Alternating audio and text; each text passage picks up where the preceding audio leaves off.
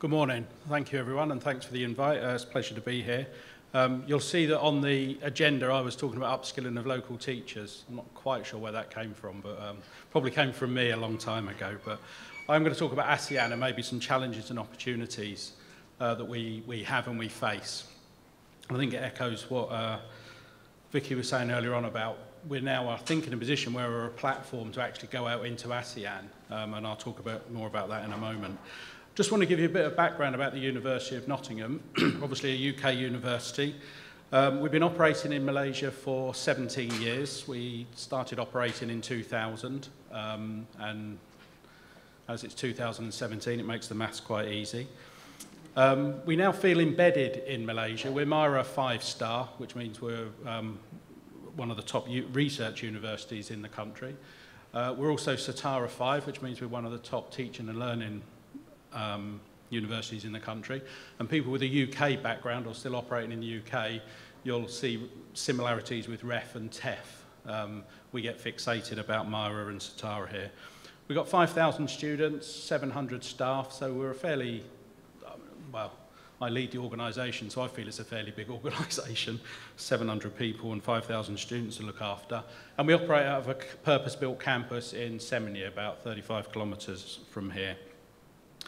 As I say, we now feel as if we're embedded in the country. Uh, there's, there's lots of challenges locally. I'm not going to talk about them, but uh, myself and Perry could talk to you for days if you wanted to know about those challenges.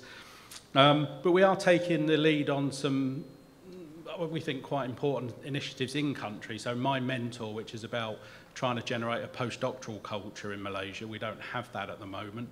Um, once you've got a PhD, you go and get a job, and then you do lots of teaching and admin, and that doesn't happen in the UK and Australia and America. You tend to do a period of postdoctoral study. And we're also working on, uh, we've just started actually a big project with Bangladesh, um, which is, is upskilling teachers, local teachers in Bangladesh. Over five stroke six years, that will upskill about 8,000 teachers um, and college lecturers in Bangladesh.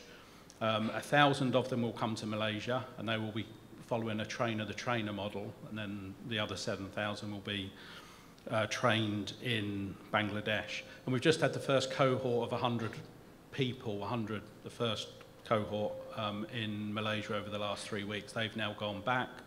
They're continue studying for their MA in education.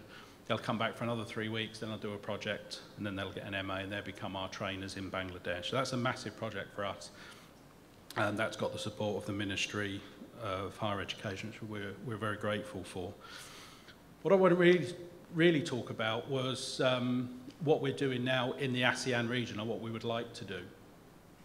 And it was actually at Bett Asia last year, and actually at the Bett Asia conference, and also in this room, I think probably the same event that, um, that you were at, uh, Sumitra, um, where I was approached by four different countries I was approached by Hugh Evans, who's the um, Vicky's equivalent in Laos. I was approached by uh, Myanmar, Cambodia, and also Nigel Boud, who used to be, who used to work here, is now the Deputy Commissioner or Deputy Ambassador. I'm still get a bit lost between consulates, ambassadors, and commissioners. Um, but anyway, Nigel used to work here. He's now the Deputy Ambassador or Commissioner in, in the Philippines. And they all asked the same question. They all said, can the University of Nottingham open a campus in Laos, Myanmar, Cambodia or Philippines? And that was all independently. And I, my response to that is always, no, we can't. We've got campuses in the UK, China and uh, Malaysia, and we're not stamp collecting and you know, we're not going to go and op open camps here because it's a big it's a big commitment on our side. But we would like to have a presence in those countries. So the conversation says, no, we're not going to open a campus. That's way above my pay grade. And the Vice-Chancellor has stated that we're not going to open campuses in, in any other countries. Although a new Vice-Chancellor starts in the 1st of October, so uh, she may have a totally different view. And if I'm fortunate enough to be at Bett Asia in November, I might be saying something totally different. But what that led to was actually a visit, and I'll, I'll reflect. We, we visited the Philippines. I didn't go. Some colleagues of mine went. We were hosted by, the, um, by Nigel there, and we met with various partners. And there's another follow-up visit to the Philippines to try and do some, some teaching or some operations there. which will follow the Laos model. And I talk about the Laos model because uh, I know more about that. Following Bett Asia and the roundtable discussions here last year with um, Hugh Evans, we visited Laos um, earlier this year. And it was really to be introduced to a, uh, an education group there who recognised that once people have got to a certain point in the private education sector in Laos, they have nowhere to go.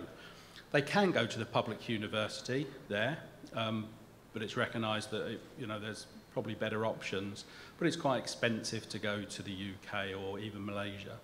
So that's why they wanted us to open a campus in, in Laos. And we said we can't do that, but we might be able to operate out of Laos. We might be able to do fly-in model. We might be able to have a presence there, but not open a campus. That's more of a, you provide the facilities, you put bums on seats, and we'll come and deliver our programs. That's the model that we're, we're talking about.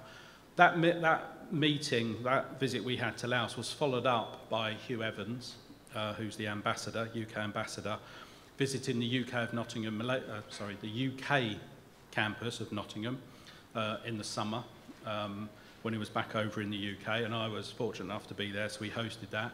He met with our Vice Chancellor and various other key stakeholders, was still very invigorated and very um, upbeat about the visit. And yesterday, one of these fortuitous things, the Minister of Sport and Education uh, for Laos was in Malaysia. Um, and it's luckily that they're sport and education because they're here for the SEA Games. Um, and they took the opportunity, or she took the opportunity to visit the University of Nottingham Malaysia campus in Semenyih, along with the um, partner that we're hoping to work for in Laos. They came over from Laos. So there was a delegation to uh, our campus yesterday. Uh, I wasn't there, unfortunately. I was working on a My Mentor project. I was at UPSI in Perak. Uh, but that visit went fantastic, apparently. The minister is very happy. Um, the potential partner is very happy. Um, and now we're going to go back to Laos in a couple of weeks, beginning of September, really to talk about the model. And it's the model which is the, the tricky part because it's got to be a win-win for everybody. It's got to be financially sustainable. We've got to be able to deliver our programs. We've got to make sure the quality's there, etc. All the things that, that the HE sector does. So Laos is our sort of our hot prospect at the moment in ASEAN. The Philippines is as well, um, and we're looking at a similar um, offering in the Philippines. Cambodia and Myanmar, we've said we need to keep them on the back burner because we can't do all these things at the same time. But every so often they sort of come to the front burner as people contact us and say, can you, come on, can you please open a campus in Cambodia or Myanmar? We won't do that, but we will go and talk to them. So there's possibly a trip, I think, to Myanmar in the next couple of months.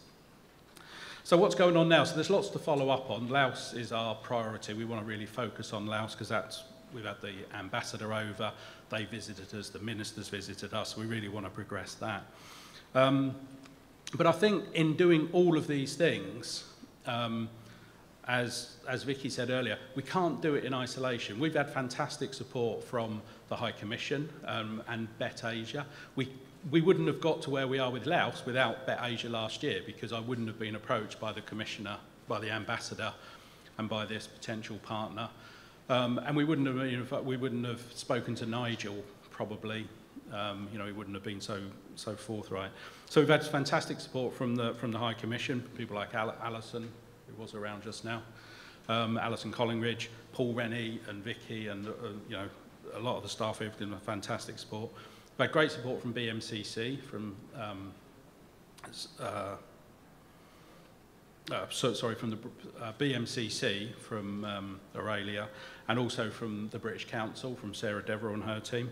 So I think what we've found over the last 17 years, we come to Malaysia to operate in Malaysia, and the UK was obviously at a point then where they started reaching out. So when we came to Malaysia, we were the first foreign branch campus in Malaysia. In 2004, we opened a campus in China. Since then, another 4K universities have come into Malaysia, Reading, Heriot-Watt, Southampton, and Newcastle. Always a bit worried about reeling them off because I always forget one. Um, and there's three um, There's three Australian universities here, Monash, Swinburne and Curtin, and also a Chinese university now. So these, these universities have reached out into Malaysia, and we're now finding ourselves having a good, solid base in Malaysia, been here 17 years, and we're now starting to reach out into ASEAN much more effectively than they can do from the UK, because it's easy for me to go to Laos. It's not easy to send a delegation from the UK um, on the times, you know, just cost and time. So we've got a fantastic opportunity here, and it's got to be done as a team. We can't, we can do it ourselves, but it's hard work. But having the British Council, the High Com, uh, BMCC, and all of those people supporting and Bett Asia here and helping and facilitating the networking is absolutely fantastic. And that's really helped us with our aspirations in ASEAN. And in fact, we probably wouldn't have had an aspiration in ASEAN if it wasn't for Bett Asia. Because I go to the UK and say, my big strategic vision is to reach out into ASEAN. And they think I've done this big sort of planning strategy. But it was really four countries coming up to me in Bett Asia saying, please open a campus in Malaysia, in these four countries. I said, no, but we'll come and talk to you. Two of those are really hot at the moment, Philippines and Laos. Cambodia and Myanmar are, they, they go hot and cold, depending, because we're trying to push them back a little bit at the moment. We're, we're struggling sometimes. Uh, so happy to talk about that at any time. I'm being given the, uh, I'm being given the sign. Happy to talk to anyone about that any time, either in the Q&A session or email me or come and visit our campus. You'll, you've got an open invite to come and visit our campus. Thank you very much.